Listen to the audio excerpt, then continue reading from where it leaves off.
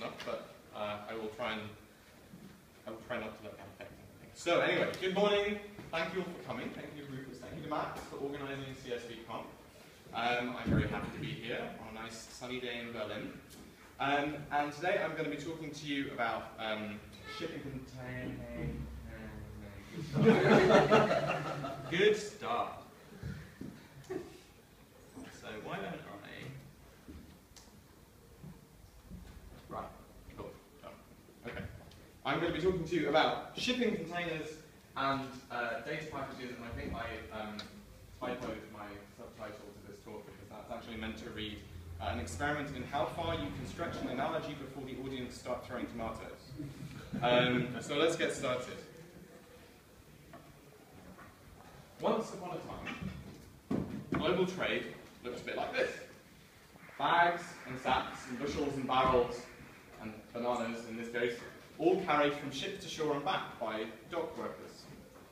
And these dock workers, who were called stevedores or longshoremen, had a pretty tedious and a pretty dangerous job. They carried things one by one along planks, um, and it was incredibly slow. And for the companies that were shipping things around the world, it was also rather expensive. Today, of course, as we all know, it looks a bit more like this. It's containers and cranes, and uh, this is all the result of a major revolution that occurred starting around the mid-50s um, when the intermodal shipping container, known as the ISO shipping container, was invented. And this made it possible to move goods around orders of magnitude more quickly and orders of magnitude more safely um, than had ever been possible before with longshoremen and sacks. Um, and goods that can't be shipped in containers like these, goods that can't be shipped either in standardized containers or in bulk, like oil or grain, are known as break bulk cargo. And shipping break bulk cargo around the world is really, really expensive. It is many, many times more expensive than containerized shipping. So I'm here to tell you that today I think we are living in the era of break bulk data. We're in about 1956 or 1957, maybe the first few container ships have sailed, but by and large, we are definitely still in breakbulk data land. Nearly every data set released by governments, companies, civil society organizations alike is released in its own special format or its own special variant of a standard format. And the problem with special formats is that they preclude the use of automated tools. And they require that at every stage, whenever the data is handled, humans are involved in writing data cleansing scripts, data loading scripts, data retrieval scripts, all of this before the real meat of the work, the data analysis, can happen. And even among smart, technically aware publishers, people who know what CSV stands for, people who know what ragged rows are and why they're a problem, um, the formats they publish data in still look a bit like bags and crates and boxes. So why is this a problem? Well, to return to my analogy, uh, in the world of break bulk cargo shipping, about, well, a very large proportion of the cost of shipping is associated with the points at either end of the journey, where the boat is loaded and unloaded. And for a 10,000 mile break bulk journey, up to 50% of the cost of that journey can be associated with the two 10-mile trips between origin, or through the origin and destination ports. And in the world of data, this is also true. A very large fraction of our time is spent getting data into a format where we can use automated or semi-automated tools uh, on it. Data retrieval and data cleaning are by far and away the most boring parts of the job, and we often spend almost as long on that as we do on the real analysis, the stuff that we were actually trying to do in the first place. And, just to push the analogy just a tiny bit further, as in the era of the longshoremen, it still requires specialists, very often, to, to deal with the data. So, let's look at the impact that containerization had on global shipping. And uh, of course, this is CSV conf, so in a format that you will all understand. Um, the impact of this is, this is what I told James earlier. It should so clearly have been a bar chart, but I just couldn't resist. Um, the impact of containerization was immediate. In 1956, one of the very first container ships to sail was the steamship Ideal X. It had 58 containers on it, and uh, the, the, the, firm that was responsible for that ship, the firm that owned that ship and, and controlled that sailing, calculated the cost of loading that ship at 16 cents per ton, which, compared with the standard cost of loading a medium-sized breakbulk ship, ship of the time of 5 bucks 86, is something like a factor of 40 productivity improvement instantly. And if we look over a slightly longer time scale, between 1959 and 1976, according to one analysis, the average time that a cargo ship spent in port had decreased from 500 something hours, which is about three weeks, to about 18 hours. And over the same period, the number of tons loaded per man hour had gone from about a half a ton to over 4,000 tons. So we're talking now about a factor of six or 7,000 productivity improvement, which is very nearly a, a four order of magnitude improvement, which is, well, not to be sniffed at. Um, and I apologise for the, for, the, for the slightly strange uh, segue here, but I like to think of packaging formats as being a little bit like pensions or maybe government websites, by which I mean they're really boring, but they're also really important. Because if you don't have a pension, and nobody in your country has a pension, things are going to go wrong. So packaging formats are not terribly exciting, they're not very interesting, but they are really important. And it is, you know, all of the, all of the ethics of uh, global trade aside and globalization aside, it is unquestionably true that this big metal box completely revolutionized the way we send things around the world. So, um, you might ask, what was it about containers that made them so successful? And certainly if we're interested in, in what we're going to be doing with data, we might want to look at the design features of the container and work out whether there are, uh, whether this analogy is actually worthwhile and whether there are things that we can apply. And I, I would argue that there are. And I would say that the three really important things about the container are, first of all, its simplicity. A container is a steel box of some specified dimensions with some specified sized holes at the corners. Other than the doors, it has no moving parts. Any engineering firm in the world can make an ISO-compatible container, and this is a really big deal. Second, they're opaque. Because if they were made of glass, it really wouldn't. No. Um, the point is that the people who make container cranes, the people who make the handling equipment, don't need to know anything about bananas or cars or laptop computers. They just know about the size of the box and where the holes are. And last but not least, and perhaps a little bit more complicated, um, containers have what I have decided to call moderated diversity. While the important features of containers remain largely the same, the ISO standards recognize that there is not one container for all possible applications. And externally, containers come in a range of different sizes, with different amounts of stuff, and internally, there are a number of substandards for shipping different kinds of goods, liquids, dry goods, pallets, refrigerated goods. So if we want to make a successful data package format, starting with these properties as design goals, I think it's probably not a bad idea. So history lesson over for a moment, I'm going to tell you about a container for data that aims to do for uh, data processing what the ISO container did for shipping. And it looks like this. Okay, it's not very exciting. But this is a minimal data package. It is a file called datapackage.json, and it contains a JSON object. And it contains precisely one field, name. Rufus will know where I'm going with this. This is the standard data set that we use for everything. Um, and you might look at this and you might think, well, this is functionally useless. What, is, what on earth is the point of a thing that doesn't tell me anything whatsoever? Now, of course, you're never going to use a data package like this. But I want to make the point that this is functionally useless in exactly the same way. An empty container is use, no, no use to man nor beast, but it is a standardized format.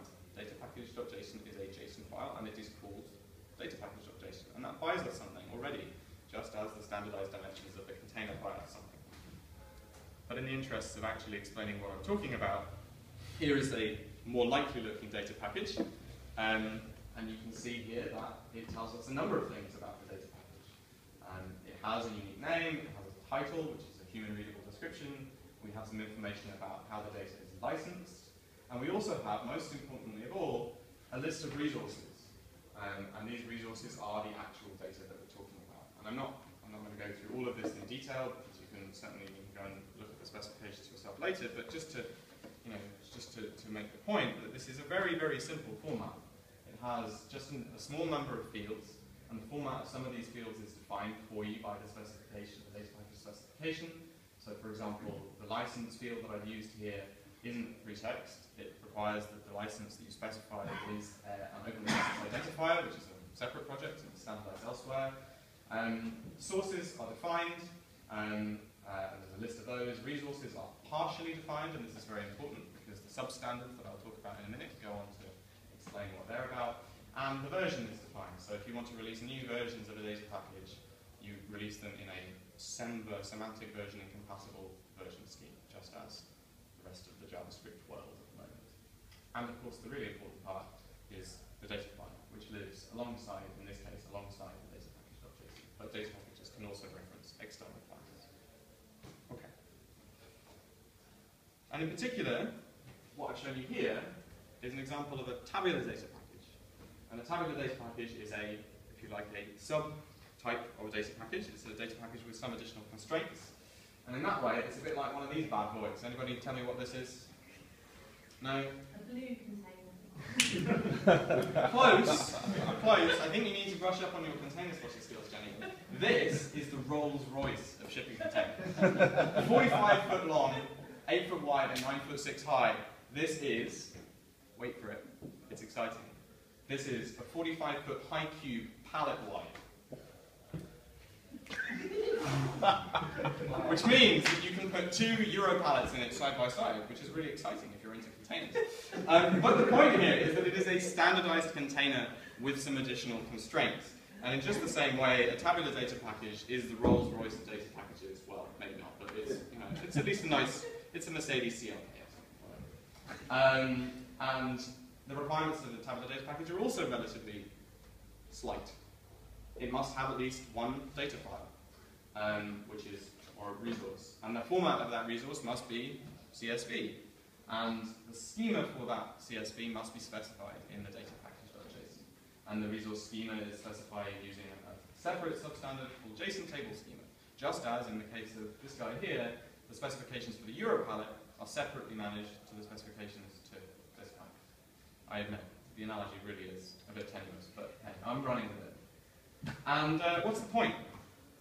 Well, just as with containerized shipping, the point is to make it possible to build standardized handling equipment that makes dealing with data easier. And some people have already started building this stuff. So data package as a specification already has a number of tools and libraries out there that allow you to use it. So there are kind of the low-level handling tools, the container cranes, if you will. Um, uh, the data package manager is uh, uh, an open knowledge project, and it's, um, it's an attempt to build kind of a, an NPM, if you know your, your JavaScript world um, for data packages. There are libraries for Python. Um, there's a library for Ruby written by our friends at the ODI. There is a library for the R statistical analysis package. And then there are also some slightly higher level tools which allow you to do things with data packages. So uh, one of those is uh, aimed at people who maybe know that they want to publish something as a data package, but don't really want to get into all of the nitty-gritty of the specification, even if they know that they can describe their data. And that is the um, Open Knowledge Data Packager, which um, I might be able to show you. I might not, it depends. I'm probably not going to, but it lives at datapackager.okfn.org. And if you have some CSVs and you want to publish them as a data package, it can help you do that. If you have a data package with some CSVs, and you want to make sure that it's actually a valid data package, and the CSVs in it are valid, then you can use CSVLint, also written by our friends at the Open Data Institute. and if you have a data package living in a Git repository somewhere, and you want to expose it in a slightly more user-friendly way, you can use a Git data package viewer. And last but not least, um, you will hear more later today if you go to Anna and Sarah's talk about Data Central, which is um, a, uh, like, a data portal for people who don't quite want to deploy CKAN yet. Um, you have a list of data packages and you can generate yourself a nice static website from that. Okay. And this MATLAB, you know, even recently someone's written a MATLAB one. So wow, is there a MATLAB? I didn't see it's that. a MATLAB one, it's a one. So, we have Hapag-Lloyd, Maersk, you know, they're all, they're all up and coming. Okay. Um, sorry, I just bombed. I just bombed. that was a shipping joke, guys. Alright, so by now I hope I've convinced you that um, data packages are the bomb, and you're all wondering what you need to do. Well, the first thing to say is that the standards I'm talking about, data package, tabular data package, JSON table schema, are all community authored standards. And they are, as Jenny mentioned in her talk just now, they are informal community standards, and you are encouraged to contribute to them. They live at dataprotocols.org. They are written in a Git repository, so please go, read the standards, edit the standards, improve the standards. Um, they're not perfect, and you can. Uh, you can also find dozens of example data sets, all published, nearly all published, I think, in um, data package format at github.com slash datasets. And there's all kinds of stuff there. There's uh, all kinds of uh, economic data. There's uh, geographical data on country boundaries published in sort of GeoJSON and TopoJSON formats. And there are data sets on browser statistics and gold prices and other things. Um, but most importantly of all, Put it in a box. If you're publishing your own data, publish it as a data package. Release your own data as data packages for others, other people to use so that we get the same advantages as the containerized shipping industry got over the breakbulk shipping industry. Standardized packaging formats have the ability to drastically simplify the process of dealing with data, so let's get on it. I will leave you with just one last thought, which is that I'm a bit worried that Rufus can tell what's coming already. Not all shipping is containerized. Oil tankers do not have containers now. So by analogy, there are situations in which data packages will not be the right answer to your problem. Thank you for listening. I'm done.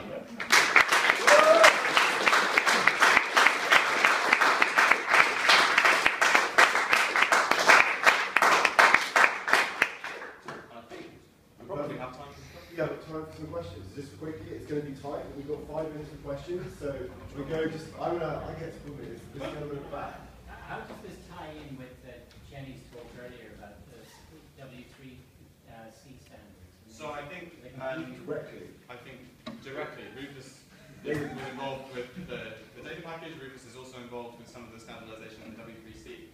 I think I would say that probably the most important thing that the data package, that these, these community specifications want to do, is kind of experiment with what is possible and see what people like and what they don't, and what works and what doesn't. Um, the W3C process is fairly heavyweight and fairly slow. It is not going to be particularly iterative or responsive.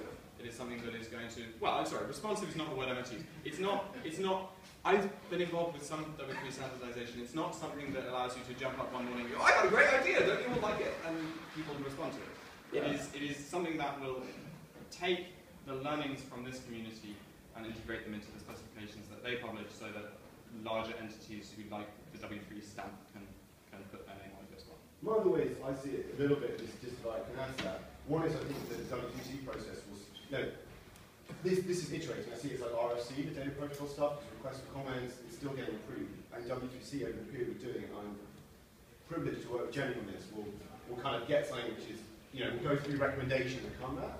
Um, the other thing is like HTML. Like HTML is W3 standard, but boy, people have added, you know, add you know, HTML5. One day we're going to get that spec out there, but you know, there's been a lot of stuff along the way. So I think it's great to have something on the side that's going to keep looping fairly fast, and then we'll keep. I imagine there's going to be iterations of this. So I think that's that's the analogy. So like they're tightly coupled frames. They, I mean, you know, there's going to be some stuff changes which may come back down the street from stuff I've been talking Jenny, and similarly, we'd be building directly on it. This, gent- well, this gentleman, and then you guys talked to the last one, so we go. Then this gentleman, then you two. Oh, sorry. Um, I, I didn't know my hand up. but, um, Oh, you didn't? Okay, Well, sorry. Sorry, I thought that, that was like, you accidentally, at the auction, you suddenly bought it. You've bought 45 for more. Thank you. Congratulations, sir. I'm on the It 65. only weighs four and a half tons. I really want to talk to you, but not in. Yeah, that's fine, that's fine. We've got, by the way, we will have the coffee break after, so there is, you know, if you've got burning questions, John is, you know, a private, But one to I one. think Friedrich That's has a fine. question. Okay, Go on. Friedrich, Friedrich. No, I'm just kind of, I, I mean, I love, love your container analogy, but in, in any kind of scenario, that we're, we're the Somalis, we're not the shipping people, right? we're like trying to get on board the big ship here, right? I think it's And why, why is it that we collectively have decided that we're going to shun Google DSPL when it works and it has this big, big fucking ship that already uses it? I, I think DSPL fails. I think No DSPL one's using fails. SDL. That's one argument. No one is using DSPL. Google It's is using it's DSPL. not- Google, Google are not using Tiny other than that team. D- right? So- DSPL, so the, the point, the point of this, the point of the analogy is that actually, the, I mean, I started off with this as kind of like, yeah, yeah, everybody's talking about containerization. I'll talk about containerization too. Well- But actually, the analogy is really, really good. Well, I think it is because it's my talk, but whatever. I think it's a really good analogy. And the point is, it is just a box. Like that is that is it. It is simple. DSPL is not simple. That's that. Um, the other It's XML, get over it. it's not simple.